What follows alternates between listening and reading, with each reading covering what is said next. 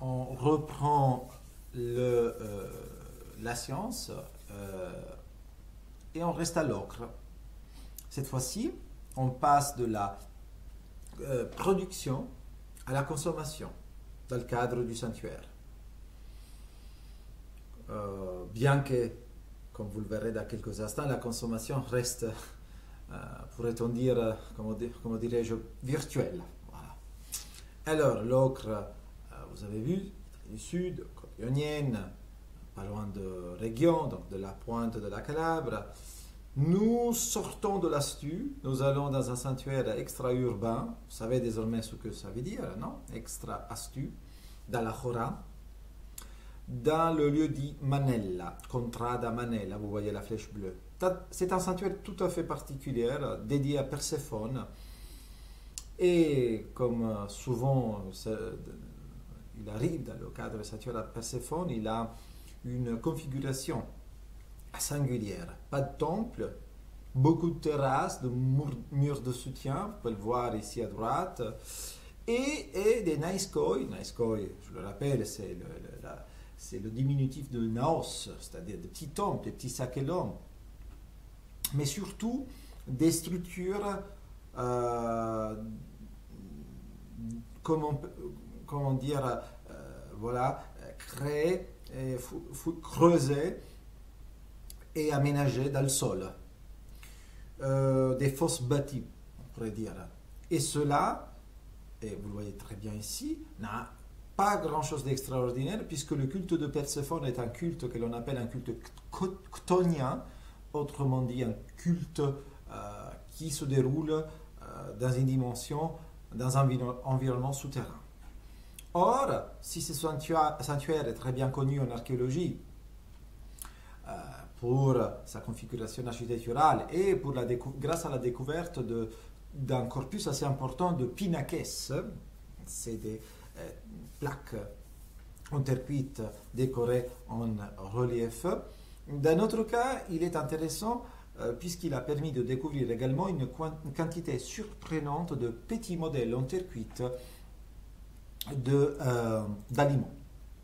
voilà euh, donc un aperçu de, des types principaux, des objets principaux attestés de ce sanctuaire. Euh, il faut savoir que ce genre de thérapie est assez répandu dans toute la Méditerranée, surtout dans les zones sacrées. Il ne faut pas oublier qu'il s'agit de ex voto. Leur valeur, euh, signification primaire est celle d'offrande substitutive des produits de la terre. C'est pourquoi tout à l'heure j'ai parlé d'une alimentation, d'une consommation virtuelle et la nature non périssable du matériau, de la terre cuite, leur permet de perpétuer l'offrande même et de commémorer le sacrifice.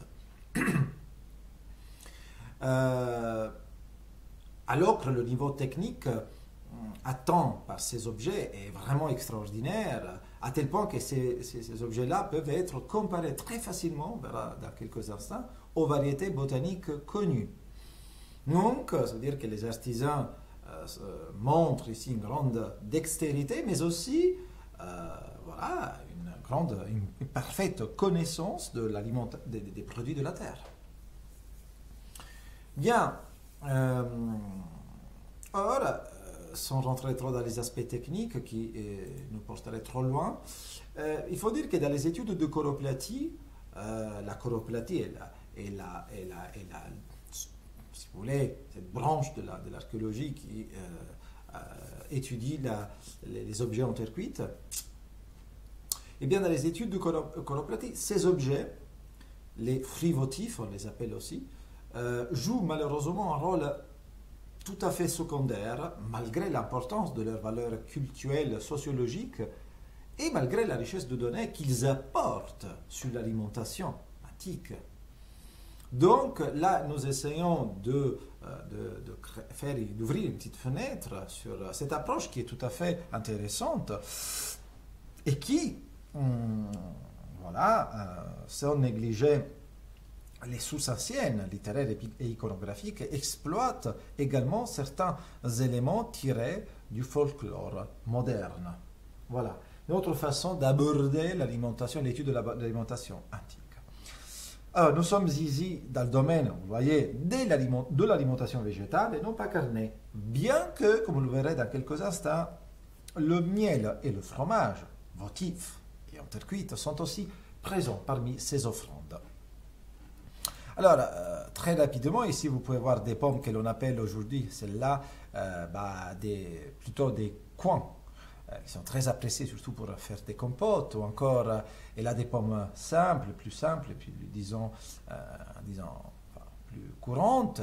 Encore, vous voyez ici des grappes de raisin en terre cuite qui peuvent être seules ou dans une assiette assortie avec d'autres aliments. Vous voyez ici en combinaison avec des pommes, manifestement. Et voici un objet qui a fait couler pas mal d'encre. Euh, alors, c'est un objet qui présente, vous voyez, une forme bizarre, sinueuse, qui rappelle un peu celle du serpent. On aurait presque l'impression de voir des têtes ici de serpent.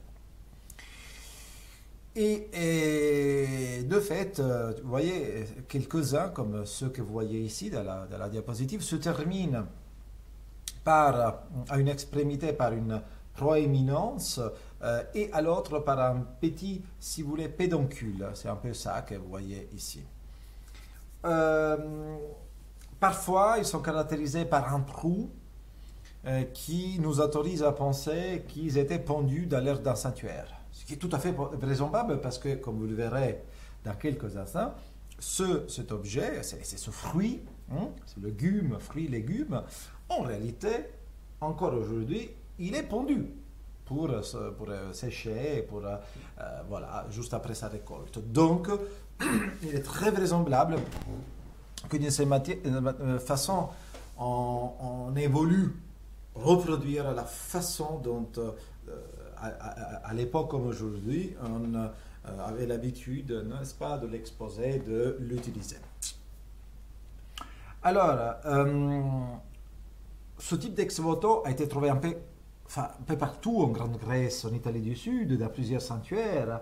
Mais il faut dire qu'il n'a jamais été aussi abondant qu'à l'ocre. Et il a aussi été découvert dans des contextes funéraires d'Italie du Sud et euh, dans d'autres sites du bassin méditerranéen, méditerranéen comme Argos, Thasos, Hollande. La plupart des auteurs qui se sont occupés jusqu'à présent de ces objets les ont identifiés comme des reproductions de serpents, je vous disais tout à l'heure, ou de, encore de mèches de cheveux, ou encore de pain ou gâteaux en forme de serpent. En réalité, euh, une corbeille en terre cuite qui est conservée au, au British Museum, vous voyez ici, mais aussi un plateau votif qui a été retrouvé à l'ocre, et, notamment cette partie-là qui est fragmentaire mais encore assez bien euh, reconnaissable, euh, nous témoigne de la présence de cet objet parmi d'autres aliments. notamment ici, vous voyez les coins, euh, ou de grenades plutôt, voilà, et, et, là encore d'autres, une grappe de raisin, peut-être des grenades, des pavots de, oui, en tout cas des, des, fruits, et cela a, euh, d'une certaine manière, euh, a permis de euh, reconstruire la nature végétale de ces ex-voto. déjà, voilà, dans le passé, certains auteurs ont proposé des identifications génériques, ils ont pensé là au concombre, à la courgette, à la courge. Or, il faut dire que, en réalité, euh, une recherche botanique euh, suivie d'une mise en culture expérimentale a permis à une chercheuse italienne de euh, identifier ce végétal, avec une variété de melons qui est couramment connue sous le nom de tortarello verde, tortarello que vous voyez ici, ou abruzzese. Et voilà, vous pouvez la voir ici. Il s'agit d'une plante euh, peu exigeante en eau, son goût rappelle le concombre, mais elle est moins indigeste. Et, quand la maturation est très avancée, d'où la nécessité de la faire, de la pendre, ou de le pendre, la saveur change jusqu'à ressembler à celle du melon. Et la couleur se modifie aussi en passant du vert à l'orange, comme vous voyez ici. Orange un peu pâle. Et voilà donc que, euh, encore, euh, c'est quelque chose qui n'existe presque plus dans l'alimentation quotidienne, mais que vous voyez qui est encore cultivé, qui est encore apprécié dans certaines parties de l'Italie centrale, notamment, comme je vous l'ai dit, dans les Abruzzi. Et ça nous témoigne d'une pratique alimentaire qui n'existe sans doute plus en, Calabre, mais qui était très forte en Italie du Sud, en tout cas à l'époque antique. Un autre élément assez intéressant, on va plus vite, est constitué par les capsules de pavot.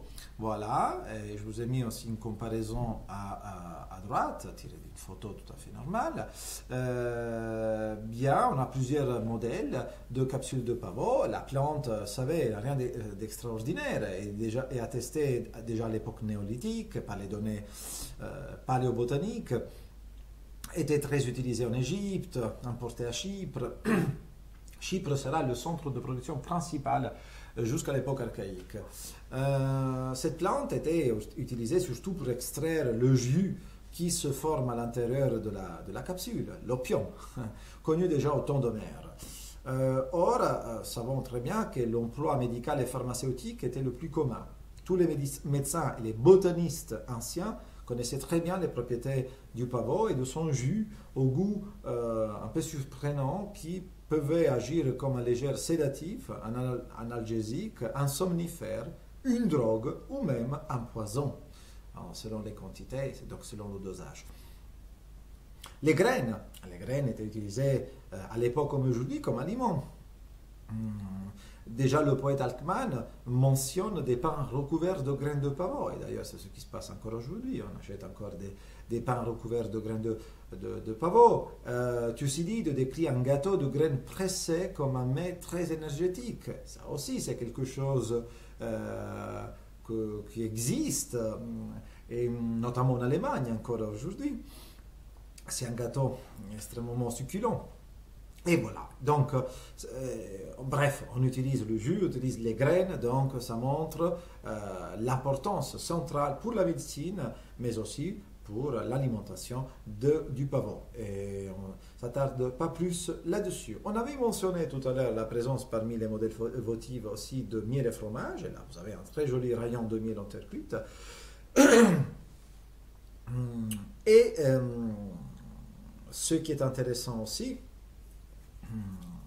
est le modèle de fromage un modèle de fromage intéressant parce que l'artisan a voulu même imiter à travers des petites rayures que vous, voyez sur la surface un peu l'effet du vrai fromage une fois qu'il est mis à sécher dans une faisselle. Donc vous voyez là la faisselle en osier qui d'ailleurs provient de la même région que l'ocre, euh, Calabre. Voilà, c'est une faisselle qu'on utilise encore aujourd'hui. Les tombes de fromage le réalisent encore dans ces faisselles, en Italie d'ailleurs comme en France. Et rien de surprenant. Euh, c'est juste euh, ce qui surprend, c'est la fidélité presque du modèle votif euh, à la, réalité. Comme je vous le disais, ces fruits votifs, ces offrandes, euh, sont, je, les ai montrés, abordés par rapport au sanctuaire de Perséphone de l'Ocre, parce qu'on était déjà à l'Ocre, parce qu'à l'Ocre, leur fréquence était extraordinaire. Et on voit très bien le rapport entre ce, ce, ce type d'ex-voto et le sanctuaire. Mais il faut savoir aussi que ces fruits sont attestés un peu partout en Italie du Sud. Là, par exemple, j'ai une belle diapositive qui, fait, qui vous donne un peu un aperçu plus général d'autres fruits votifs. Là, vous avez des figues, des amandes, les coins, les grenades, les poires, euh, euh, des, courges, euh, et voilà, des grappes de raisin et les tostarelli dont on a parlé. Donc, vous voyez, cela existe un peu partout, mais ce qu'il faut savoir, c'est que ce genre de fruits votifs ne sont pas forcément euh, liés au sanctuaire, donc à des propriétés sacrées, mais ils peuvent également être euh, euh, en relation avec des contextes d'habitat ou mieux de funéraire. ils ont été de fait découverts à l'intérieur des tombes euh, et, évidemment, la question s'impose. Est-ce que c'est une sorte de reste de rituel funéraire? Est-ce que c'est -ce c'est juste euh, quelque chose qui doit accompagner le défunt, une sorte de nourriture qui euh, doit nourrir l'âme du défunt même après la mort? Voilà, tout cela dépend évidemment du contexte de la découverte au sein de la tombe. La tombe de du remplissage de la fosse qui contient le défunt, ou la tombe, le cercueil. On passe maintenant de l'ocre, Italie du Sud, à Savance. Et, euh, pardon, voilà, ah voilà, là c'est, euh, j'avais préparé cette petite diapositive pour vous montrer un peu les contextes de découverte. Vous voyez, la plupart des fruits euh, sont évidemment dans les lieux de culte. Euh, on en a quand même 18. On parle là pour la Lucanie, la région d'Italie du Sud. On a 18 pour les, dans les contextes funéraires et on a que 3 dans les contextes d'habitat. Donc il reste quand même... il ne faut pas dire que cela est exclusif dans de culte, mais c'est vrai, euh, vrai que, comme le montre également le cas de euh, euh, mm, l'ocre, c'est surtout le, lieu de culte, le lieu préféré pour ce genre d'offrande votive, pour ce genre de modèle et d'offrande votive. Oui, exactement on passe à l'île de Samos et notamment au sanctuaire euh, très important des Ra qui se trouve sur le côté euh, sud méridional de l'île. Ici, les fouilles de, l'Institut allemand euh, d'archéologie, notamment sous la direction de Kirelais, Kirelais, ont permis hum, de découvrir un un matériel étonnamment riche constitué de restes non carbonisés et cela dans le secteur sud du sanctuaire. Voilà une image du sanctuaire, l'un des plus importants de l'Antiquité grecque, les rayons de Samos, euh, grec et, puis par la suite aussi romain, parce qu'il a continué à vivre même après. Et euh, ici, dans le secteur sud, euh, bien, il a été possible de découvrir dans une couche datable au 7e siècle avant Jésus-Christ, une couche qui se trouvait presque au niveau de la mer, ce qui a permis la conservation parfaite d'ailleurs. Euh, on a comme je vous disais, une quantité importante de euh, restes euh, carpologiques. On a retrouvé de graines et, d'autres choses. On a retrouvé donc les fruits en particulier. Et, il faut dire que ces, découvertes sont extraordinaires parce qu'elles nous permettent un peu, elles nous permettent de comprendre un peu euh, la variété, d'apprécier la variété de l'alimentation hum, euh, qui, euh, que l'on peut reconstruire pour les sanctuaires.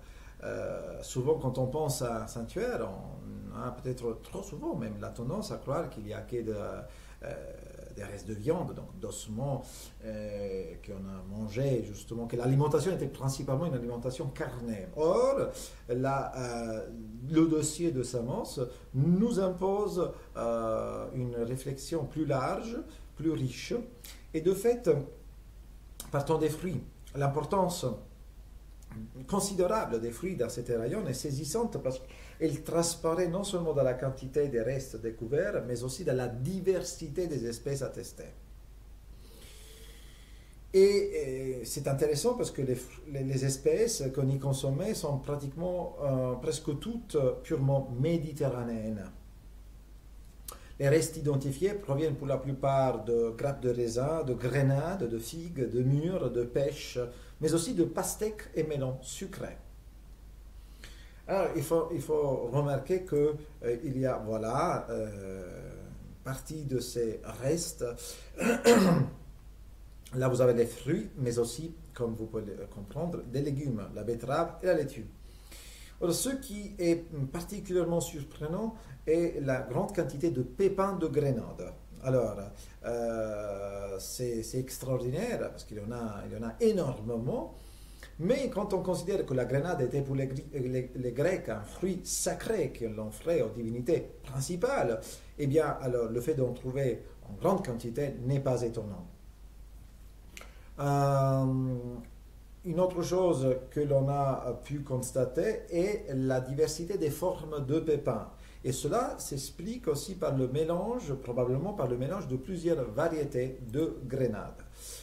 Euh, par contre, quelque chose de, contrairement aux grenades, il faut enregistrer un seul morceau de pêche. Très intéressant. la pêche, euh, normalement, euh, elle a été mise en culture en Chine dès le troisième millénaire avant Jésus-Christ et puis elle est venue jusque dans la région méditerranéenne.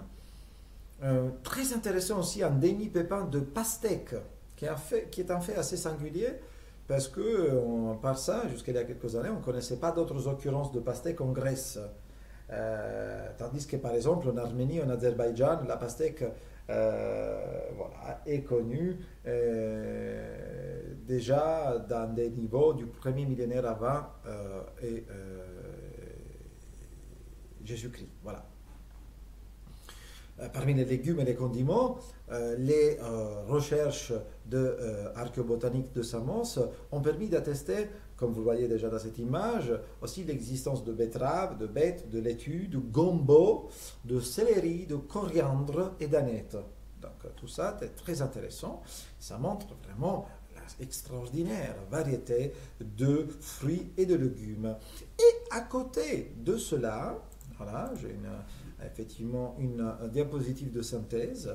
À côté de, euh, des fruits et légumes, hum, les archéologues allemands ont découvert à Samos également 120 espèces, ou en tout cas genres de plantes, qui sont caractéristiques de la végétation euh, naturelle. Euh, ce sont hum, des espèces de champs, de jardins, mais aussi des espèces qui poussent normalement dans les prairies et dans les pâturages. Et ça, c'est très intéressant. Et, grâce aux résultats euh, des analyses des semences, on a pu procéder à une euh, restitution euh, aussi, les archéologues allemands, du paysage autour du sanctuaire. Alors, pourquoi ces nombreuses espèces caractéristiques aussi, comme je vous disais, des prairies et des pâturages? Eh bien, probablement parce que ces plantes ce, euh, était euh, utilisé pour l'approvisionnement en fourrage des animaux destinés au sacrifice dans les rayons. Comprenez donc l'importance donc, et ce rapport toujours étroit entre ce qui se passe dans le sanctuaire et ce qui se passe en dehors du sanctuaire.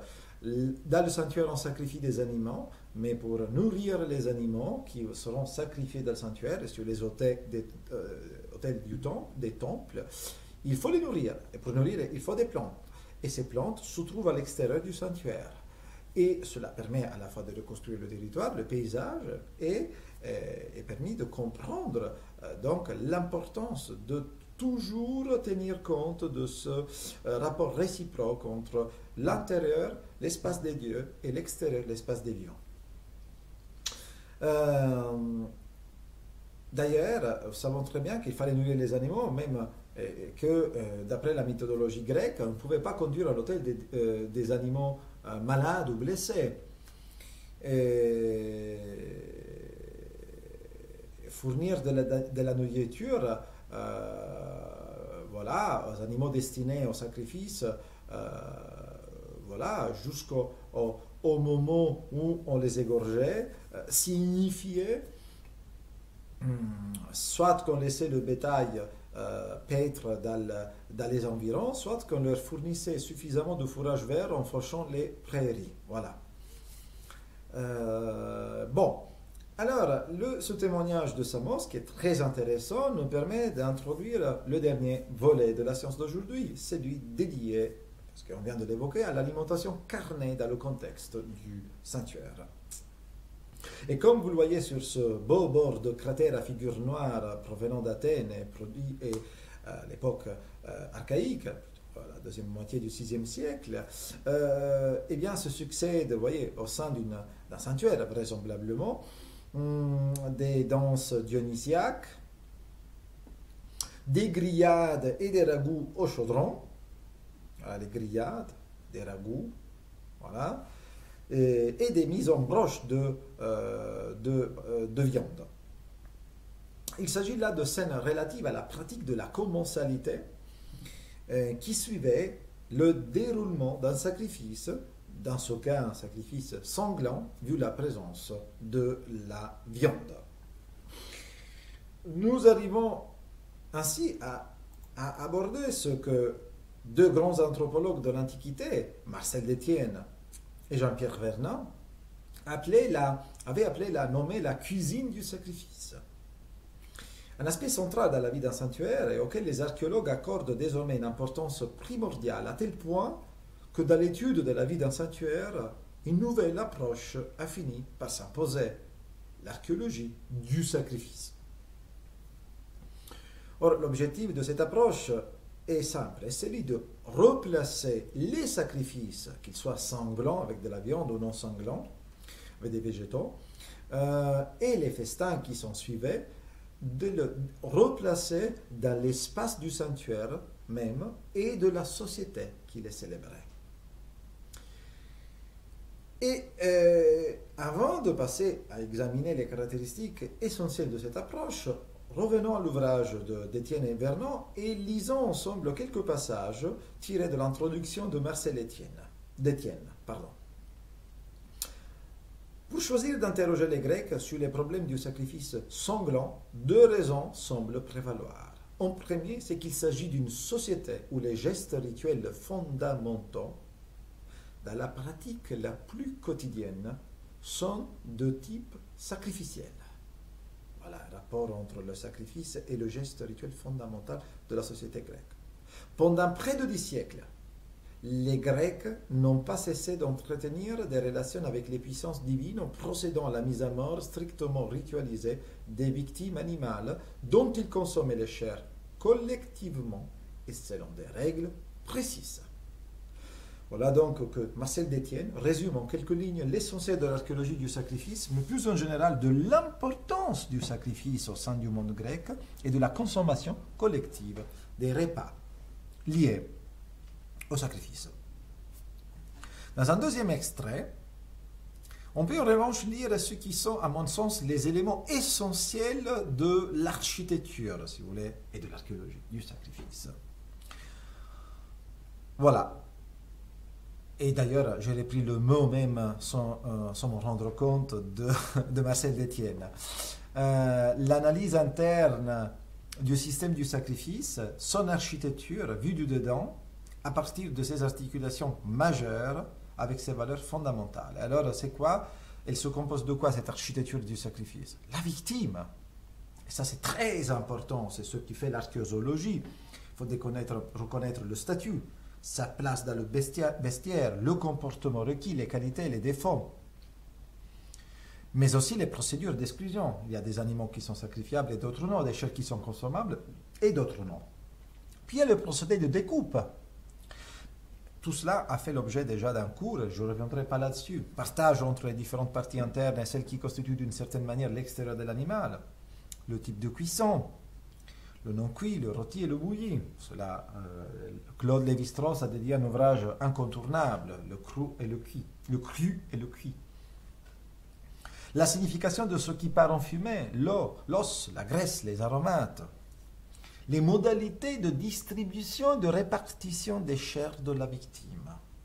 Et puis, termine, toute question qui se noue avec d'autres et qui interroge une série de relations centrales pour le symbolisme et la pensée des Grecs entre les hommes et les dieux, entre les animaux et les hommes, entre les céréales et le monde animal, ou encore entre la femme, le corps féminin et la viande ou les nourritures.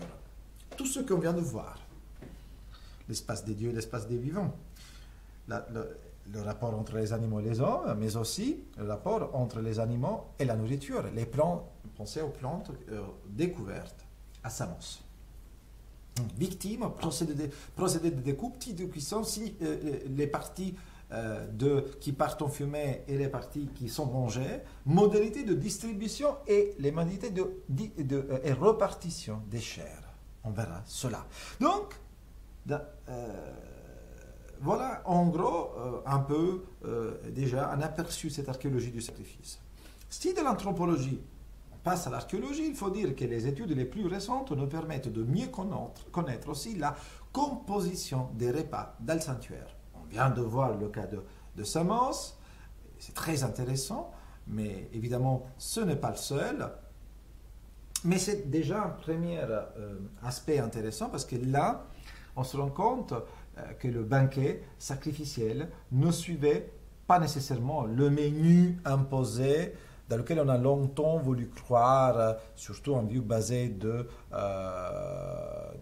sur la viande. Mais on, voit déjà une composition à la carte, assortie de viande issue du sacrifice ou pas, mais aussi de mets apportés de l'extérieur du sanctuaire. Encore une fois, l'extérieur du sanctuaire que revient. Donc le sanctuaire n'est pas un lieu clos, c'est quelque chose qui est fortement en relation avec le reste de la ville.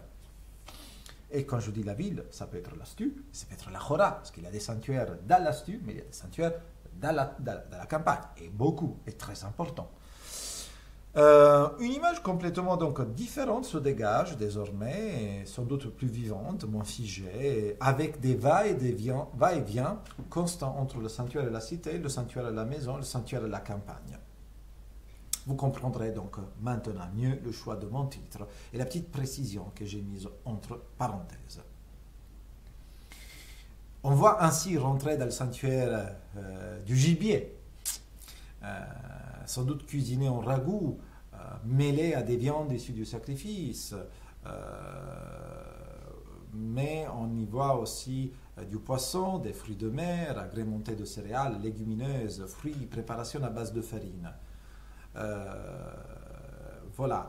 Et, comme, à part Samos, il y a de nombreux témoignages archéologiques je vous présente notamment euh, le cas d'Érythrée et, en particulier du euh, sanctuaire de Apollon d'Aphnéphoros.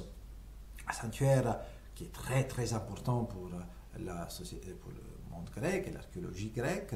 Euh, ici, c'est la phase du 8e siècle qui nous intéresse et qui est témoigné par un bâtiment extraordinaire, un bâtiment allongé, absidal, euh, qui nous rappelle beaucoup le bâtiment de l'Efkandi euh, et qui en tout cas euh, est intéressant aussi parce que est au centre du débat sur la forme des premières maisons, maisons-temples de l'âge du fer en Grèce. Eh bien, bon, ce n'est pas ça le, sujet de cette science, donc je je passe cela, mais ce qui nous intéresse, c'est l'hôtel de ce de ce temple qui nous a, euh, qui a permis aux archéologues de découvrir des restes d'offrandes animales euh, brûlées. Voilà un aperçu de ces restes euh, d'offrandes animales qui sont brûlées et qui hum, présentent des degrés divers de calcination, ce qui est normal quand on, quelque chose brûle. On a des têtes de fémur, des diaphyses fémorales, des vertèbres caudales, de caprinés, chèvres et moutons. Donc on a les chèvres et les moutons quelque chose qui, par exemple, euh, euh, euh, souvent on ne voit pas trop sur les, sur les représentations des vases, comme on verra dans quelques instants. Mais on a aussi à côté de, de, la viande animale, on a de la viande, on a aussi du poisson, ou des, plutôt du coquillage, on a de la grande nacre, des pourpres et des coquilles retrouvées, voilà, qui témoignent de la consommation de mollusques marins et par conséquent d'autres mets que ceux qui étaient issus des animaux immolé. Donc vous voyez là cette belle euh, combinaison de, euh, au niveau de l'alimentation carnée en tout cas, de viande et poisson, si on peut définir poisson évidemment les mollusques. en tout cas d'éléments de, la faune marine et terrestre. Cet exemple, qui extrêmement vivant euh, d'offrandes animales brûlées nous permet de, porter, de mettre l'accent également sur la thusia, thusia c'est-à-dire la thusia, voilà, l'immolation d'un animal dont une partie est brûlée et l'autre est mangée, cuite par les hommes. La partie brûlée euh, est la graisse normalement qui euh, nourrit les dieux, qui va vers le haut et nourrit les dieux grâce à sa fumée symboliquement, bien évidemment. Et à ce, propos, je me permets de vous signaler l'ouvrage de Van Straten, euh, Yerakala, Images sacrées, n'est-ce pas? Images of Animal Sacrifice in Archaic and Classical Greece. Il s'agit en l'occurrence d'une étude conduite non pas à partir des restes osseux, donc des restes archéologiques, mais plutôt des figures, euh, des vases peints, du calendrier des sacrifices et des reliefs votifs. Comme vous le voyez ici, ce qui étonne, euh, dans les chiffres présentés est la grande diversité des données statistiques. Selon qu'on fasse, référence aux vases, au calendrier, relief. D'après les vases, par exemple, les porcs et les moutons sont très minoritaires, tandis qu'ils deviennent largement prioritaires dans les calendriers sous les reliefs votifs. Confirmant, dans ce cas-là, par ailleurs, ce que l'archéologie semble désormais nous témoigner de plus en plus pour la Grèce continentale et encore plus coloniale, c'est-à-dire une grande majorité de euh, ovicapridés, hum, caprinés, ça dépend, et euh, sans doute une fréquence assez réduite de bœufs, qui, comme nous l'avons déjà vu, était extrêmement important pour le travail dans les champs, étaient des fidèles compagnons des êtres humains jusqu'à la mort, nous pouvons dire. Mais la fréquence très haute des bœufs sur les vases pain n'a rien en réalité, rien d'extraordinaire, ne doit pas étonner plus que cela. Les vases peints sont le plus souvent, euh, là quelques images, destinés à véhiculer une idéologie et donc leur iconographie répond, répond plus à ce besoin qu'à la volonté de reproduire fidèlement la vie quotidienne. faites attention, on ne peut pas prendre euh, les images comme des témoignages directs euh, et euh, assurés de la, de la réalité. Et il est clair que le bœuf possède une valeur symbolique bien majeure que celle d'un porcelet, d'un porc, d'un mouton, d'une chèvre, etc. En tout cas, au sein du monde grec. Là, vous voyez, différentes formes de sacrifice. Un bœuf qui est accompagné, là, vous voyez un un euh, bélier qui est, qui est en train de mourir, d'être égorgé, et idem ici. Donc, cela ne, veut, or, cela ne veut pas dire que le sacrifice des bœufs n'existait pas dans le monde grec, bien au contraire. Il faut savoir qu'il s'agit d'un événement rare, extraordinaire, qui par ailleurs posait des problèmes non négligeables du point de vue logistique et technique. Un tel sacrifice nommé euh, un sacrifice de, de bœuf, de beaucoup de bœufs, nommé face, par exemple, à ce que l'on appelle l'emprise spatiale du sacrifice. Il nous oblige à penser, ou mieux à repenser la logistique des sacrifices à grande échelle. À grande échelle. Euh, il s'agit de penser par exemple au problème du passage, du déplacement, du transport du bétail, dans l'image, euh, là vous avez deux images, une provient d'un vase, donc c'est une image réelle, l'autre c'est une reconstruction. Euh, dans la première, vous voyez juste la scène d'un sacrifice, un seul bœuf, et là vous reconnaissez sans doute Athéna devant les murs, euh, les murs de l'acropole probablement, la clôture de l'acropole. Et c'est intéressant parce que vous voyez qu'il y a à la fois un sacrifice sanglant, mais un sacrifice non sanglant avec des épis de céréales. Mais restons dans la tusia et dans l'égorgement des bêtes, là, vous avez une belle reconstruction d'une euh, procession, d'un cortège, d'un transport de, euh, bœufs euh, devant le temple d'Apollon à Delphes, dans le sanctuaire. Et là, il s'agit non pas d'un sacrifice quelconque, mais d'un sacrifice qui est très bien connu, que l'on appelle l'hécatombe. Hécatombe est un mot composé qui vient de hécaton, son, c'est le chiffre son, et bous, bous bos, le bœuf.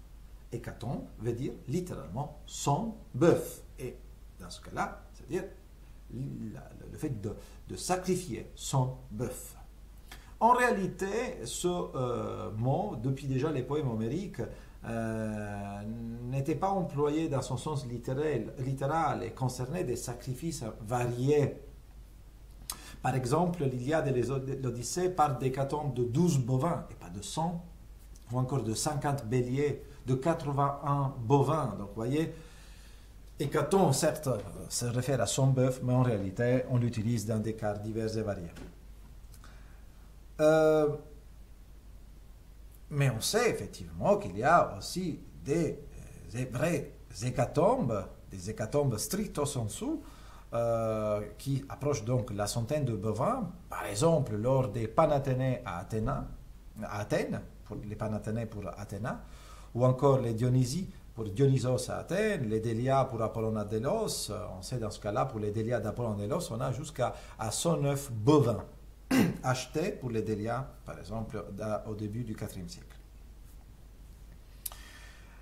Alors, on parlait de l'emprise spatiale.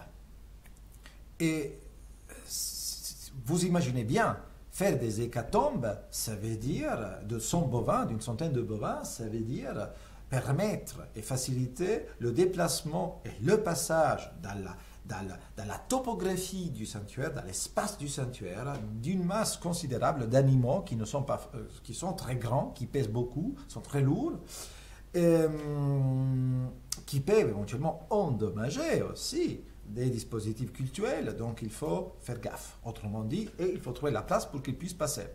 À Delphes, c'est ce, quand je parle d'emprise spatiale, c'est à ça que je me réfère. Et bien à Delphes, mais même à Athènes, le problème de l'emprise, mais à Delphes plus qu'à Athènes, on a une belle rampe qui permet d'accéder à l'acropole, à Delphes, le problème de l'emprise spatiale ou topographique des cérémonies sur un site qui est au relief peu propice aux abattages à la chaîne, eh bien, euh, euh, eh ben, se pose dans toute son évidence.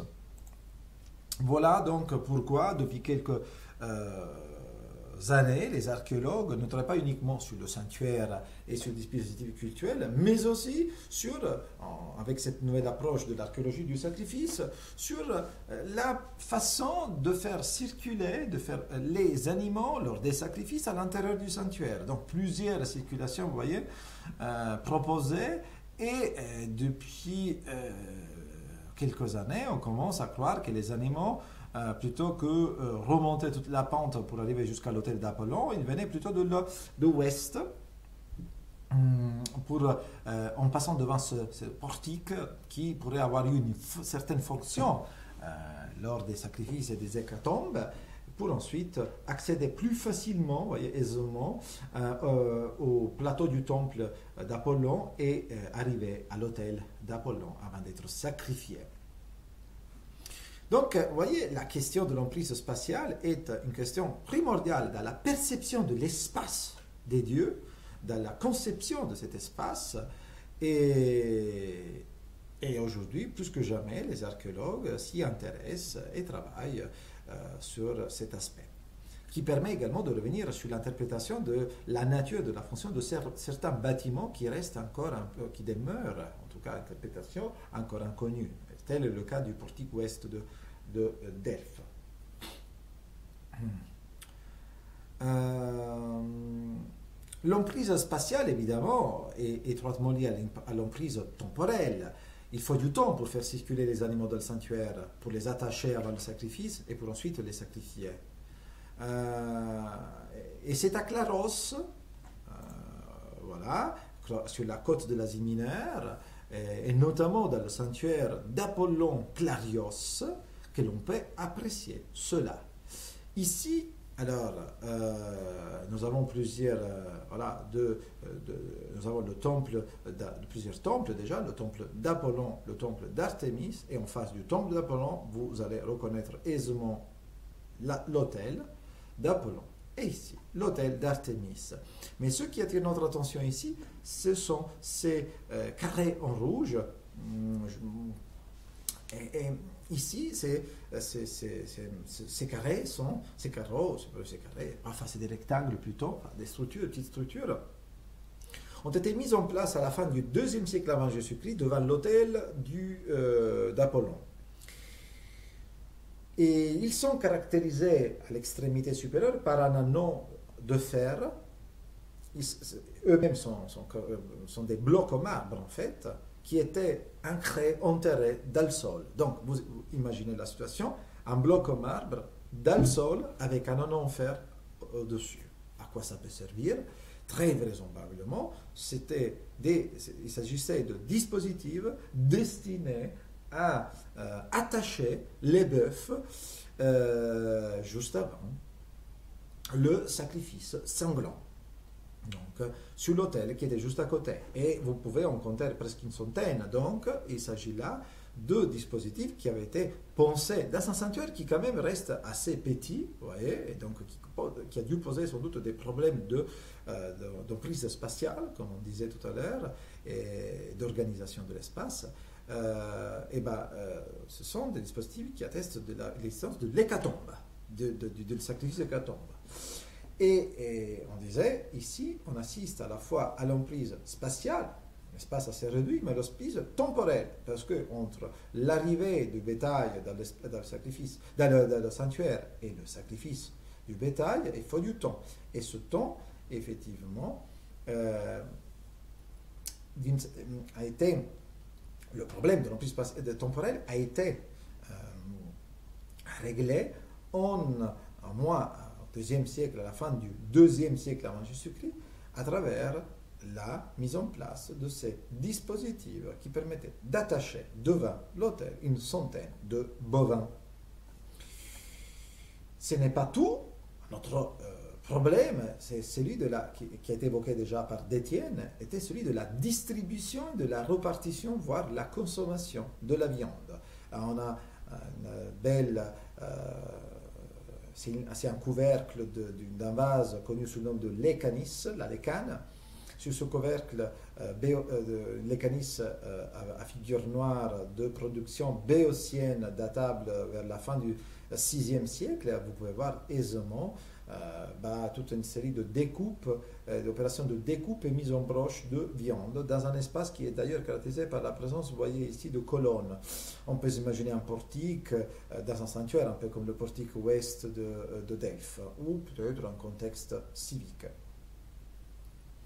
en tout cas, beaucoup de viande et cela permet, suggère un banquet, un banquet assez important. Ici, vous voyez aussi des porteurs d'une grande broche euh, qui est chargée de viande ou peut-être d'un obélias. L'obélias était un grand gâteau dionysiaque qui était cuit à la broche.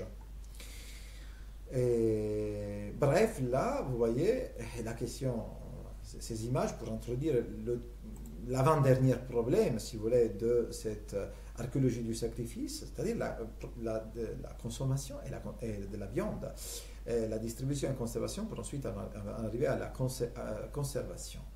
Et vous devez imaginer qu'une hécatombe, stricto sensu, c'est-à-dire une hécatombe euh, de 100 bovins, d'une centaine de bovins, générait une quantité impressionnante de viande, jusqu'à 30 000 kilos de viande. Euh, un bovin pesait autour de 300 euh, kilogrammes.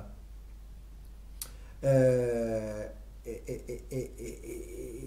or, effectivement, cela n'est pas extraordinaire pour une grande cité comme la cité d'Athènes, qui comptait par exemple au IVe siècle euh, quelque chose comme euh, voilà, euh, environ 400 000 personnes dans les maisons, dont environ 200 000 esclaves.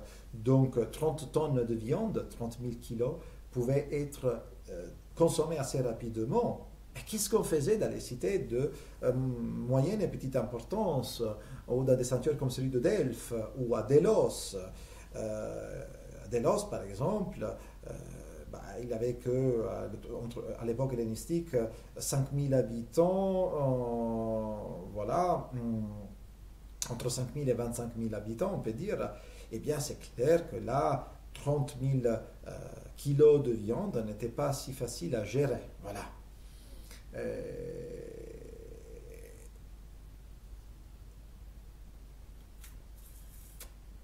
et, et, et, et, des surplus de viande, donc il faut s'imaginer que des surplus de viande étaient très très euh, probables. Et qui, qui, faisait, qui faisait-on de ces surplus? Et alors, il faut aller au-delà du sacrifice, d'où l'importance d'être en dehors du sanctuaire. Euh, en fait, l'archéologie du sacrifice, sacrifice, nous invite à reconsidérer toute la chaîne alimentaire carnée des cités grecques. De fait, la logistique des hécatombes avait des conséquences vitales sur les cités. Alors que nous avons la tendance à enfermer la religion dans les sanctuaires, les sacrifices de masse nous forcent à en sortir pour aborder, je l'ai répété désormais à maintes reprises, les questions économiques et alimentaires à l'échelle de la cité. L'archéologie et les sources épigraphiques attestent que la découpe des carcasses commençait sur le lieu de l'immolation, euh, avec l'extraction des viscères tout de suite grillées, euh, des parts destinées aux dieux, mais aussi des parts de viande. Et aux petites Panathénées à Athènes, par exemple, dans le IVe siècle, savons que les magistrats et les participants à la procession recevaient des parts de viande directement sur l'acropole avant que le reste des viandes ne soit distribué aux citoyens en dehors de l'acropole, dans la cité basse et notamment dans le Céramique, le quartier à ouest, au nord-ouest d'Athènes.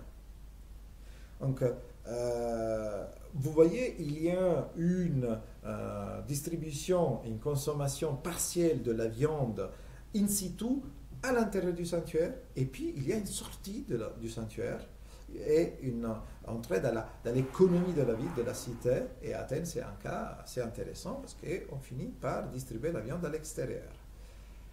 Et le surplus de viande qu'on on vient d'évoquer pose le dernier problème euh, sur lequel on va terminer cette science, ce deuxième module, le problème de la conservation de la viande. En absence de frigo, il a, fallu faire sans doute recours à d'autres techniques de conservation, surtout de salage, que l'on peut reconstruire grâce à des sources écrites et à des comparaisons ethnographiques. Le sel, bien évidemment, vous pouvez le voir dans cette source, euh, cet extrait de Strabon jouait un rôle central dans les pratiques de conservation et des techniques de conservation. Euh, on peut le voir en lisant Strabon, aussi en regardant de près ces vases euh, gaulois euh, dépourvus de hanse qui étaient utilisés pour le stockage de sel. Évidemment, ces techniques n'ont pas laissé trop de traces et souvent il faut les reconstruire grâce à des comparaisons ethnographiques. Et là, c'est une belle photo relativement récente par rapport au reste. mais c'est là aussi un problème important qui rentre à juste titre dans cette nouvelle approche euh, qui est l'archéologie du sanctuaire et qui nous oblige, encore une fois, à, sortir de la logique du sanctuaire et à aller bien plus loin, parce que les techniques de salage, le sel, évidemment, ne se trouvent pas à l'intérieur du sanctuaire, et donc exige un investissement de la part de tous euh, les citoyens, euh, et non seulement, évidemment, de ceux qui étaient occupés engagés, investis, impliqués dans les sacrifices. Voilà, c'est tout. Je vous remercie pour votre attention.